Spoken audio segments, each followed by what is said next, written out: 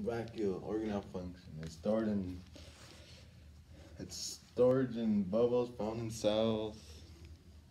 They are found in both animal and plant cells, but much larger than plant cells. Location it's is known to to pick place that the vacuole located in each other plant animal cell.